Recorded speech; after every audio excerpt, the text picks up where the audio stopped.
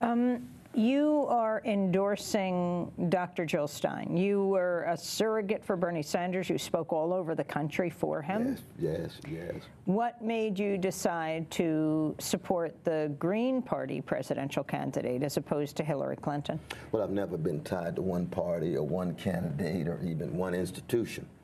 Uh, that's true even one church as a Christian. I'm committed to truth and justice. And uh, Brother Bernie, no doubt, was, uh, was the standard bearer for truth and justice during the, uh, the primary at a national level, at a highly visible level. Once he endorsed Hillary Clinton, who for me is a neoliberal disaster, uh, uh, it was clear. What do you mean by that? A neoliberal disaster is one who generates a mass incarceration regime, who deregulates banks and markets, who uh, promotes uh, uh, chaos of regime, regime change in Libya, supports military coups in Honduras, uh, uh, undermines some of the magnificent efforts in, in Haiti of working people and so forth. That's the record of Hillary Clinton. So there was no way when my dear brother, who I love very deeply, Bernie Sanders, said she'll make an outstanding president. I said, oh, I disagree with my brother. I think she, I don't think she'll make an outstanding president at all. She's a militarist. She's a hawk.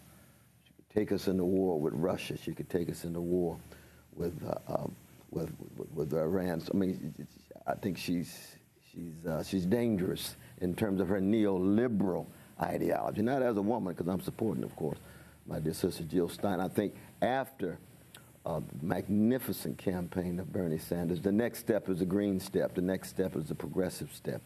And when you're calling for reparations, you're calling for the release of prisons, prisoners who have been historically uh, uh, unfairly treated, especially tied to uh, uh, nonviolent crimes.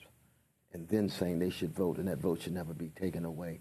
When you're calling putting people and planet and peace before profits, uh, Sister Jill Stein for me is a, somebody that's worth fighting for. And she's not a spoiler. You know, a lot of people use that term spoiler. If Hillary Clinton can't make the case to progressives, she doesn't deserve our vote.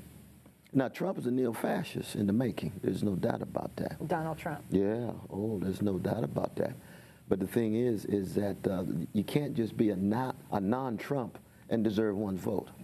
If Hillary Clinton wants to vote a progressives, she better be real about it. But I don't think she has the capacity to be real about. She's so tied to Wall Street. She's so tied to the corporate elite. Why do you say he's a neo-fascist, Donald Trump? The... Because neo-fascism in the United States takes the form of big money, big banks, big corporations tied to xenophobic scapegoating of the vulnerable, like Mexicans and Muslims and, uh, uh, and women and black folk, and militaristic policies abroad, with strongman, charismatic, autocratic personality and that's what Donald Trump is. And we should note, and this is where I salute you, my dear sister, corporate media has played a fundamental role in the making of Donald Trump. $2 billion free time. They made big profits. They put their profits ahead of the public interest.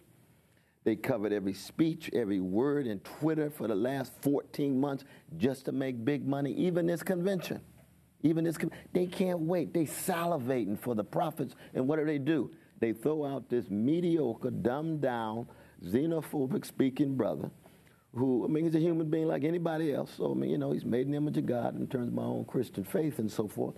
But he's a neo fascist in the making, and corporate media is going to have to pl- acknowledge the tremendous responsibility they have of making sure Donald Trump was center stage. If Bernie Sanders had received one half of that kind of attention, we'd be in a very different place. If they would put more stress on what Jill Stein is saying, the unbelievable fairness, subtlety of analysis, moral passion of Sister Jill. Corporate media won't touch with a 10 foot pole for the most part, but it's changing. It's going to change. What does Dr. Jill Stein represent? What, why are you drawn to the Green Party platform now that Bernie Sanders has conceded? Well, one is the language of Coltrane. She's a major force for good, accenting the role of poor and working people, being center stage.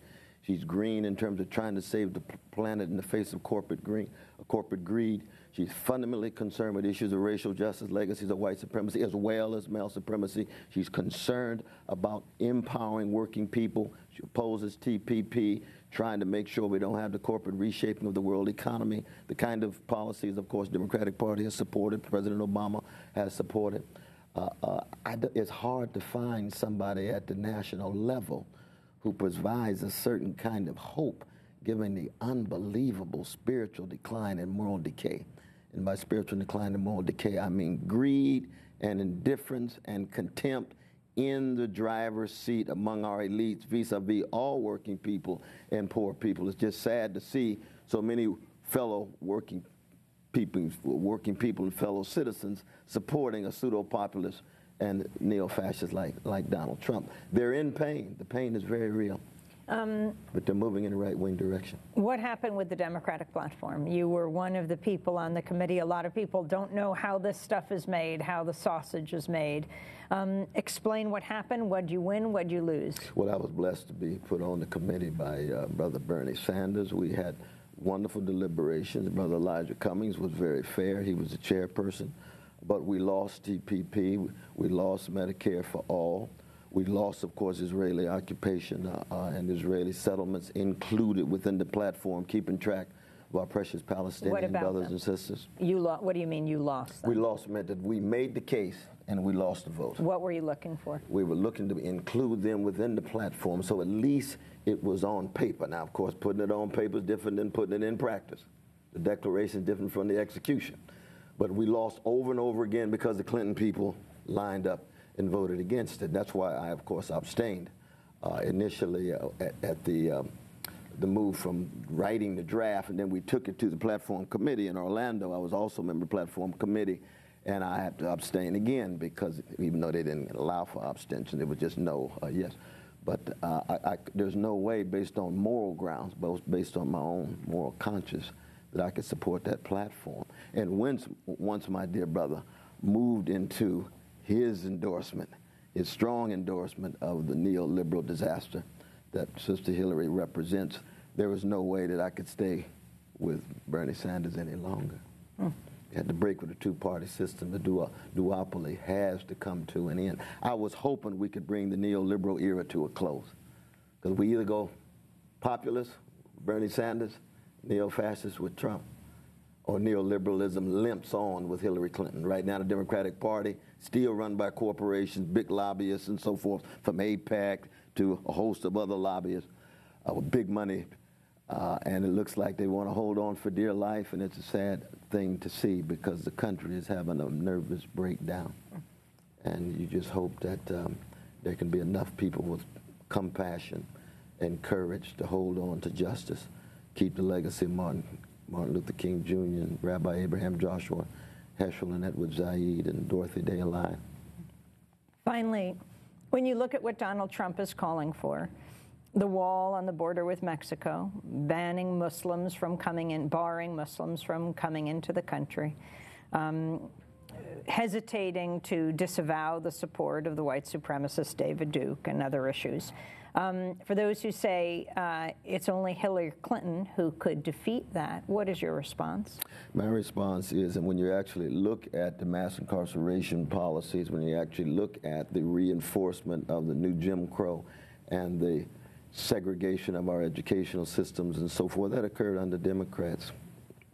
It would, it would persist under Hillary Clinton what Donald Trump talks about in the abstract has actually been concretely enacted under neoliberal regimes of the Democratic Party.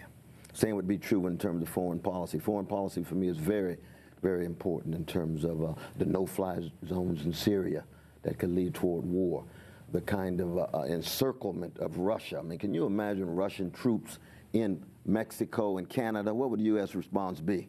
Oh my God.